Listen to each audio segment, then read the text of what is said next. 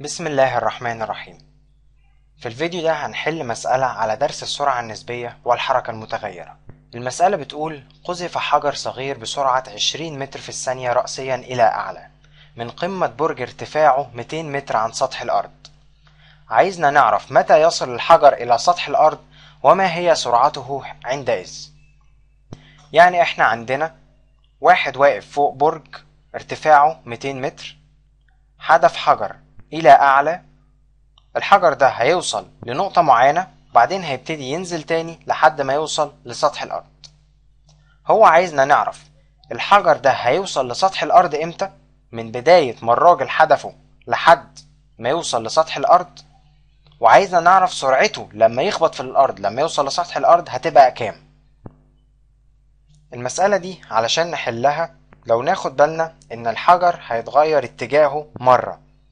هو اتجاهه من أسفل إلى أعلى في المرحلة الأولى وبعد كده هيتحرك من أعلى إلى أسفل. يعني هيوصل لنقطة إن سرعته فيها بقت صفر وبعد كده هيبتدي ينزل لتحت تاني. فإحنا هنحل المسألة دي على مرحلتين المرحلة الأولى الحجر وهو طالع وبعد كده المرحلة التانية الحجر وهو نازل. وعشان نحل المسألة دي لازم نعرف الحجر ده هيوصل لأقصى ارتفاع قد إيه؟ ولما يوصل لأقصى ارتفاع ده هيوصله في كام ثانية أو كام دقيقة أو الزمن بتاعه لما يوصل لأقصى ارتفاع ده هيكون قد إيه. علشان نطلع زمن أقصى ارتفاع هنستعمل القانون ده. القانون بيقول إن زمن أقصى ارتفاع بيساوي سرعة القذف مقسوم على عجلة الجاذبية. فإحنا عندنا إن الزمن في المرحلة الأولى اللي هو زمن أقصى ارتفاع بيساوي سرعة القذف اللي هي عشرين على عجلة الجاذبية اللي هي تسعة وتمانية من عشرة. والنتيجة هتكون اتنين ثانية. يبقى إحنا كده حددنا المجهول الأول وهو الزمن لحد ما يوصل لأقصى ارتفاع بتاعه وطلع ثانيتين.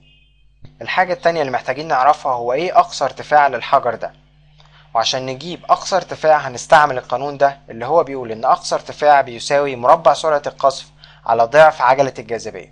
يبقى إحنا عندنا أقصى ارتفاع أو المسافة اللي هيتحركها الحجر ده إلى أعلى بتساوي مربع سرعة القذف اللي هي عندنا هنا عشرين متر في الثانية تربيع على ضعف عجلة الجاذبية اتنين في عجلة الجاذبية اللي هي تسعة وتمانية من عشرة. هتساوي تسعتاشر وستة من عشرة متر.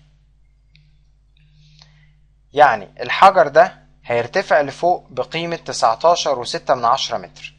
بس تسعتاشر وستة من عشرة متر دي من السطح من سطح البرج.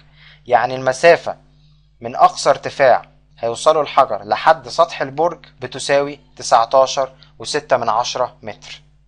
يبقى كده ارتفاع الحجر عند أقصى ارتفاع بتاعه بالنسبة للأرض هيساوي ميتين اللي هو ارتفاع البرج زائد تسعتاشر وستة من عشرة هيساوي ميتين وتسعتاشر وستة من عشرة.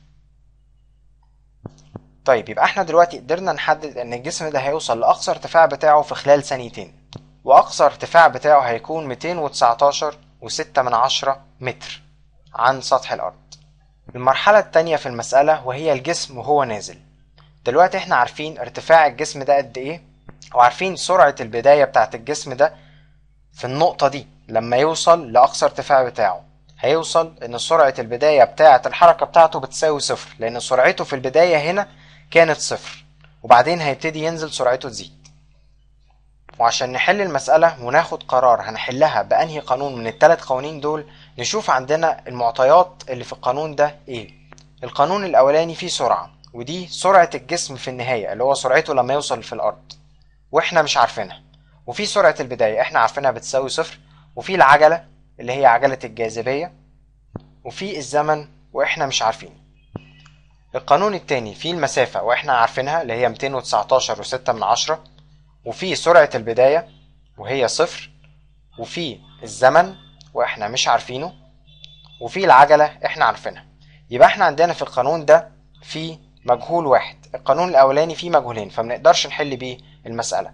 أما القانون التاني ففيه مجهول واحد فإحنا نقدر باستخدام القانون التاني ده نطلع زمن الوصول اللي هو الزمن اللي هيوصل فيه الجسم لسطح الأرض بداية من أقصى ارتفاع بتاعه. إحنا عندنا هنا سرعة البداية بتاعة الجسم بتساوي صفر فيبقى الناحية دي كلها صفر. فنقدر نقول إن الزمن اللي هيوصل فيه جسم لسطح الأرض بيساوي جذر اتنين في المسافة مقسومة على العجلة عجلة الجاذبية الأرضية. اللي هو بيساوي جذر اتنين في ميتين وتسعتاشر وستة من عشرة على عجلة الجاذبية الأرضية اللي هي تسعة وتمانية من عشرة. النتيجة هتطلع في النهاية ستة وتسعة وستين من المية ثانية. يعني الجسم بداية ما كان على أقصى ارتفاع. لحد ما يوصل لسطح الأرض هياخد ست ثواني وتسعة وستين في المية من الثانية. فهل نقدر نقول إن يصل الحجر إلى سطح الأرض بعد ست ثواني وتسعة وستين من المية من الثانية؟ طبعا الكلام ده مش مظبوط لأن الجسم خد ثانيتين في البداية على ما وصل لأقصى ارتفاع. فإحنا هنحسب الثانيتين اللي في البداية على ما وصل لأقصى ارتفاع والست ثواني اللي خدهم من أقصى ارتفاع لحد ما وصل لسطح الأرض. فالنتيجة هتكون 8 ثواني و69% من الثانية. وبكده نكون حلينا المطلوب الأول.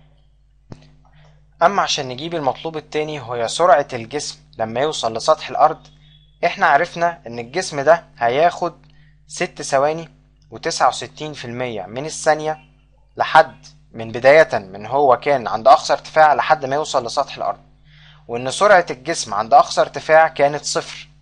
فإحنا عارفين سرعة البداية بتاعة الجسم وعارفين الزمن اللي خده الجسم على ما وصل لسطح الأرض. فالقانون الأولاني بيطلع لنا سرعة الجسم لما وصل لسطح الأرض. فإحنا عندنا سرعة البداية اللي هي بتساوي صفر وعندنا العجلة تسعة وتمانية من عشرة وعندنا الزمن اللي هو ست ثواني وتسعة وستين في المية من الثانية. فنقدر نقول إن سرعة الجسم لما وصل للأرض بيساوي صفر زائد العجلة اللي هي تسعة وتمانية من عشرة مضروبة في الزمن اللي هو ست ثواني وتسعة وستين في المية من الثانية اللي هو هيساوي خمسة وستين وستة من عشرة متر في الثانية. يبقى إحنا كده حلينا المسألة باستخدام القوانين اللي قصادنا.